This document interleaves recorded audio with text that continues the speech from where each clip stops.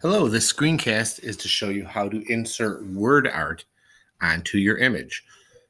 So this is how you can make your words look like bubble letters.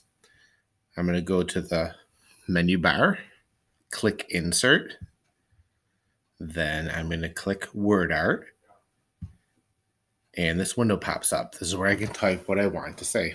I'm going to type, see, I'm going to start with the word brownie. I'm going to make it all capital letters. So brownie. And then here it says use enter to save. So I'm going to press the enter button. And that comes up. Now I want to resize it. So I'm going to grab the corner grab box, click and hold, and drag. Make it smaller. And I'm going to make it fit up here. I can grab the side or bottom ones, but it stretches it out like that. So you have to decide how you want yours to look. Now I oh. can add some color to this. So I'm going to go up to my color tools up here.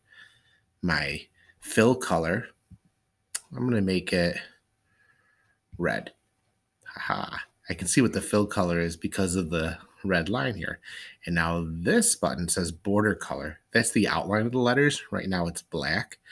I'm going to make it yellow just so you can really see it. Haha. And if I want to make the outline thicker, I go to the border weight. That means the thickness of the outline of the letters, which is yellow right now. I'm going to click here and I'm going to go really big just so you can see. This might mess it all up. Ooh, yeah, that's too much. So I'm going to go to a lower border weight, maybe three. Okay, something like that. So now I have one word. I clicked off it. I want something at the bottom. So I need a new word art box. I click insert word art. And this time I'm going to write the word time, press enter. And I'm going to shrink that up a little bit. And I'm going to drag it down to the bottom here. And something else you can do besides the color, you can change the font. Right now it's Arial. If I click this down arrow, gives me lots of other choices that I can use to change the font.